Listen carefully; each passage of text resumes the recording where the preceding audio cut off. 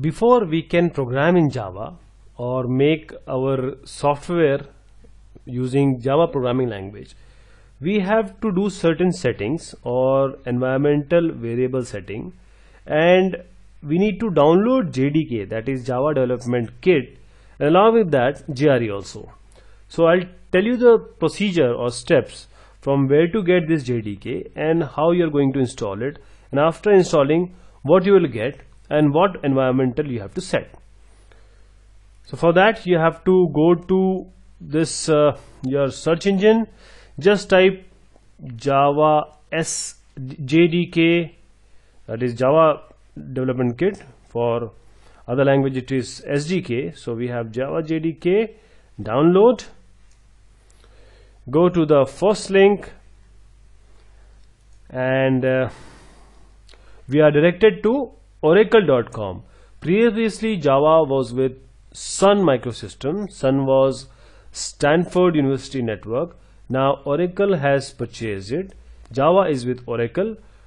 You can press download here and you can go to the installation or exe of your type because your system may be 64 bit 32 bit linux mac or there's various combinations. So go to the best combination and you can start downloading.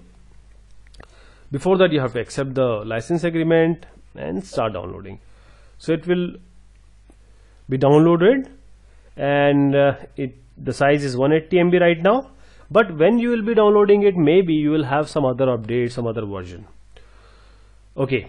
Now by the time it is downloading let let us stop this because I already have it in my system so I'll take you to that particular position. I have it here.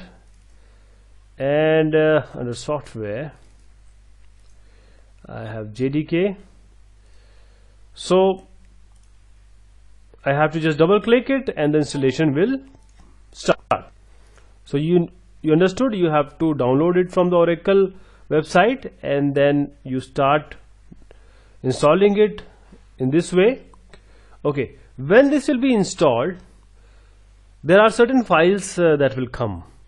And because we have to run uh, this is like a command prompt command like say we have cmd and if I write uh, in this uh, command prompt anything which is not going to run which is not going to run or this the system does not know that command so there will be an error so to get rid of that error we will do some environment setting. Uh, say uh, I write this. So it is saying that it is not a recognized uh, command. But if I do cd dot dot it is recognized. For this we'll do certain environmental setting. Next say next. And uh, as this installation is going on I'll take you to the environmental position. For that you have to go to your settings then control panel. This is for Windows system. And you have to go to your system advanced system setting and environmental see Java SE development kit 8 update 20 64 bit is successfully installed. So it, it is installed. By the time uh, I'll go to environmental variables now under system variables I'll find path. Where is my path? I'll find the path. Okay edit.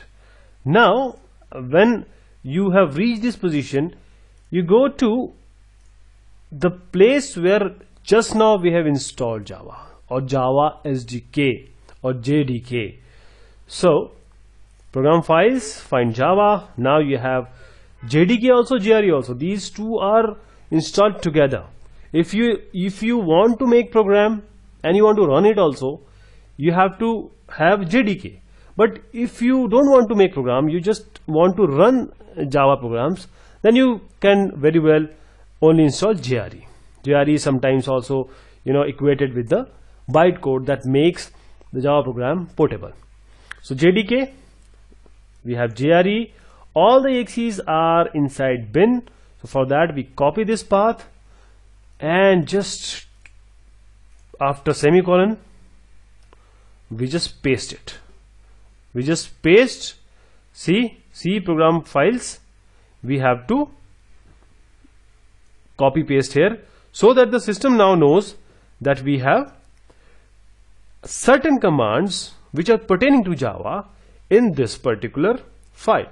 So we don't have to specify this again and again. Now we are done with this. We have downloaded JDK, we have installed JDK and JRE and we have now made the environmental setting also. So now we are ready for our program or programming and for that we need certain IDE that will take in the later session.